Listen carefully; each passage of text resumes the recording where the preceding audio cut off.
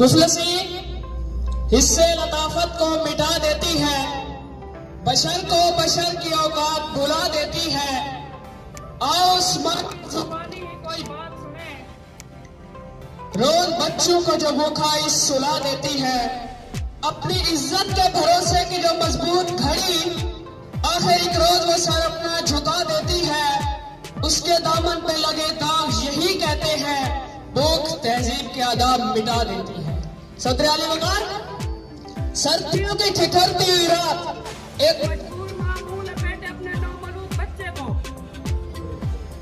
ईदी सेंटर के बाहर पड़े झूले में डाल जाती है। उससे पूछा गया क्या तुझे तेरी ममता सताएगी नहीं? इस बच्चे की सुस्तियाँ तुझे रुलाएगी नहीं? इसकी चीखें तेरे कानों से टकराएगी नहीं? तो कब कपाते हुए होठ से जब मजबूर माँ ये जवाब देती है कि मैं अपने भूख को बर्दाश्त कर सकती हूँ, मगर इस बच्चे का भूख से बिलकना मुझसे देखा न गया। तो इस पर यह कहना बचा बनता है, खाक में माँ की मोहब्बत को मिला देती है, भूख, तहजीब के आदाब मिटा देती है।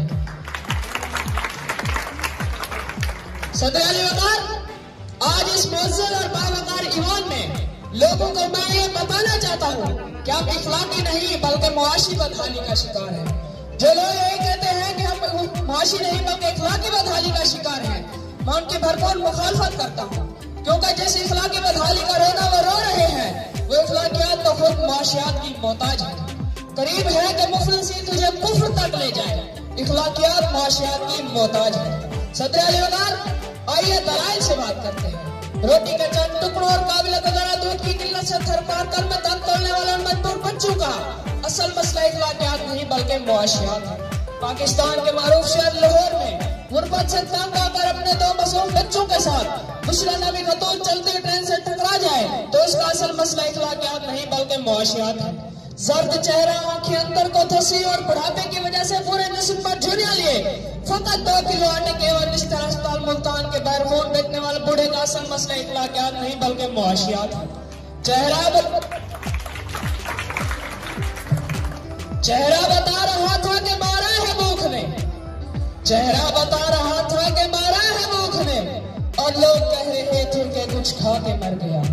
सदर भूख तंगदस्ती और अक्तर माशी हालात, आला इखलाकियात की जिद है। पहले आप पहले आप तो तब होता है जब पेट की भूख और गम में रोज़गार ना हो।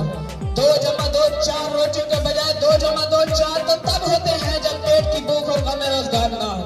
बेटी का चार दीवारी में रहना, खानदान की इज़्ज़त पर कट मरना ये सब तो तब होते हैं जब पेट की भूख और गम रोज़गार ना हो। चाँद में चाँद रोटी के बजाय चाँद में चलना करती मुझे तो तब नज़र आती है जब पेट की भूख और गम रोज़गार ना हो। फाकू ने तस्वीर बना आँखों ने तस्वीर बना दी आँखों में। बोल, जो भी चीज़ हो, रोटी लगती है। और तो इबादत और इज़्ज़त भी तब होती है, जब पेट की भूख और गम रोज़गार ना हो। कौन आशिक खुदा की जात का है? कौन आशिक खुदा की जात का है? सारा चक्कर मुआशियात का है। अली आइए जमीनी हकायत का जायजा लीजिए। आज कश्मीर के मुसलमानों को अपने घरों में बंद हुए दो साल हमने इखलाकियात का मुजाहरा करते हुए कौम मुतहदा में करारदादें पेश की। तो इस्लामी मालिक ने पाकिस्तान की हिमायत करने के बजाय हिंदुस्तान की हिमायत की। तो क्या इसकी असल वजह यह थी कि हम इखलाकी बस्ती का शिकार हैं?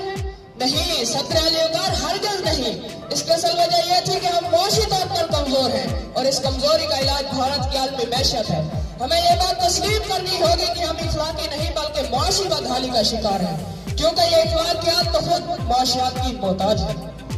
अली वकार मेरे इन तमाम दलाल के बावजूद अगर आप भी को ये यकीन रखता है और बात जिद है कि हम मुआशी नहीं, बल्कि इखलाकी बदहाली का शिकार हैं तो उससे बस एक ही सवाल करते हुए मैं इजाज़त चाहूँगा कि वो जिसका एक ही बच्चा हो भूखा आठ पैरों से, कि वो जिसका एक ही बच्चा हो भूखा आठ पैरों से, बताओ अहले दानिश तुम वो गंदम लेके तख्ती में शुक्रिया